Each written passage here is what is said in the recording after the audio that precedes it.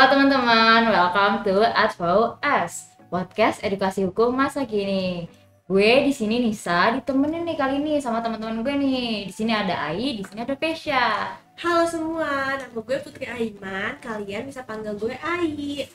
Halo semua, nama gue Nanda Vesha dan kalian bisa manggil gue Vesha. Nah, kali ini nih kita mau bahas tentang apa sih di podcast ini? Jadi hari ini tuh kita bakal bahas tentang pro bono kali ya. Terus bedanya sama bantuan hukum tuh kira-kira ada bedanya gak sih? Eh, Terus kita bahas tentang cara pengajuannya juga kali ya. Dan masih banyak lagi deh. Nah, penasaran gak sih? Yaudah deh, langsung aja yuk kita bahas. Nah, di sini gue mau nanya dulu nih. Bedanya bantuan hukum dengan bantuan hukum secara cuma-cuma yang dibilang pro bono itu apa sih? Kan sama-sama bantuan hukum nih. Nah, jadi tuh pro bono atau bantuan hukum yang diberikan secara cuma-cuma kepada seseorang yang tersebut kasus hukum, tetapi orang tersebut tuh tidak mampu untuk membayar jasa pengacaranya sendiri. Sedangkan bantuan hukum atau legal aid di sini sama-sama jasa hukum secara cuma-cuma tapi dengan pendanaan yang berasal dari anggaran pendapatan dan belanja negara. Nah, jadi titik perbedaan pro bono sama bantuan hukum ini sebenarnya ada di sumber dana yang digunainnya. Kalau misalkan eh, di pro bono itu sumber dananya itu dari advokat sendiri.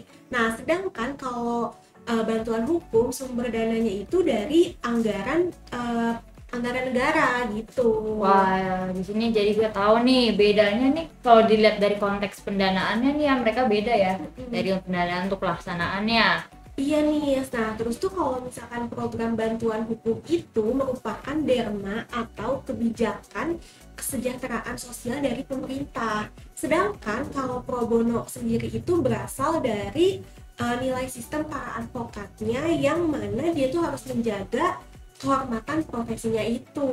Hmm, Nah, banyak loh macam layanan dari pro bono itu meliputi pemberian konsultasi hukum, menjalankan kuasa, mewakili, mendampingi, membela, dan juga melakukan tindakan hukum lainnya. Nah, tapi nih, walaupun dikasihnya itu secara cuma-cuma, uh, advokat tuh harus tetap memberikan uh, layanan hukumnya itu sama kayak kalau misalkan dia itu nanganin perkara yang uh, menerima uang jasa gitu. Nah, hal ini tuh sebenarnya diatur juga loh di dalam kode etik advokat. Wah, jadi di sini nih ya perlu ditegasin lagi. Jadi untuk bantuan hukum dengan pro bono atau bantuan hukum secara cuma-cuma itu harus pelayanannya sama ya.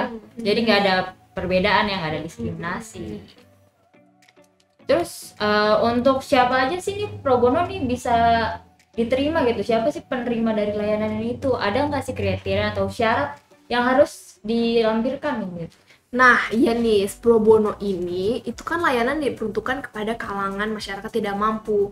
Dan tidak mampu itu bisa diartikan dalam artian tidak mampu secara finansial atau ekonomi dan juga tidak mampu dalam artian sosial dan politik. Nah iya dari yang gue baca juga terkait tentang pro bono ini eh, dia itu nggak hanya sebatas eh, individu yang eh, orang-orang tidak mampu aja jadi eh, pro bono juga bisa dalam bentuk kelompok loh eh, yang mana eh, di kelompok ini tuh bisa diwakilin oleh individu yang memenuhi kriteria nggak mampu ini gitu. Tapi tuh emang cara tahu orang tersebut tidak mampu itu gimana sih caranya? Tadi nih ada nih untuk pengategorian orang yang tidak mampu secara ekonomi nih ya. Itu bisa dilihat misalnya dia terdaftar menjadi program eh, bantuan pemerintah atau dia tuh udah tercatat di daftar penduduk miskin yang ada di eh, data Badan Pusat Statistik itu PES dan I. Nah, tapi perlu banget nih diingat bahwa ada empat dokumen yang disertakan dan nanti tuh bakal dimintain oleh advokat. Nah, yang pertama itu adalah surat keterangan tidak mampu. Yang kedua itu tagihan rekening selama beberapa bulan terakhir. Yang ketiga itu bukti pembayaran pajak penghasilan terbaru dan yang terakhir itu adalah eh, bukti kepesertaan dalam program bantuan pemerintah. Nah, kalau misalkan untuk yang kelompok tadi bisa pakai laporan keuangan selama beberapa bulan terakhir atau data individu-individu yang diwakilinya. Eh, tapi nih eh, kalau misalkan yang sosial politik tuh tadi gimana sih? Gue masih kurang paham deh. Nah, untuk yang sosial politik ini nih, jadi kan mereka tidak mampu secara sosial politik nih bisa dikatakan mereka kurang atau tidak memiliki jalan dan akses terhadap keadilan dan bantuan hukum. Nah, untuk contohnya nih kita bisa lihat seperti yang tergolong itu em, buruh migran, pencari suaka, dan juga masyarakat adat. Nah, berarti kalau golongan yang tadi udah lo sebutin itu tuh harus lampirin dokumen juga gak, Nis? Jadi sebenarnya untuk pengumpulan dokumennya ini kan mereka cukup sulit ya untuk pembuktiannya. Jadi eh, digunain juga untuk kriteria itu ada metode wawancara yang bisa dilakukan. Tapi kalau misalnya metode wawancara ini juga masih dirasa cukup sulit, maka nanti akan bisa dipakai surat pernyataan tentang ketidakmampuan secara sosial politik. Oh, alah, baru tahu gue. Nah, berarti eh, kalau misalkan buat ngajuin pro bononya itu tuh berarti kita tinggal datang gak sih ke kantor hukum gitu? Nah, nggak cuma itu, I. Kalau buat ngajuin pro bono tuh bisa loh.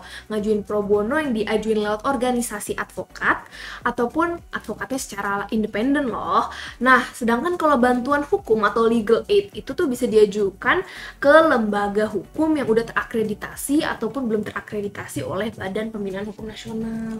Nah, tapi Ves, eh, cara tahu nih kalau misalkan pro bono itu diterima atau enggaknya tuh gimana ya?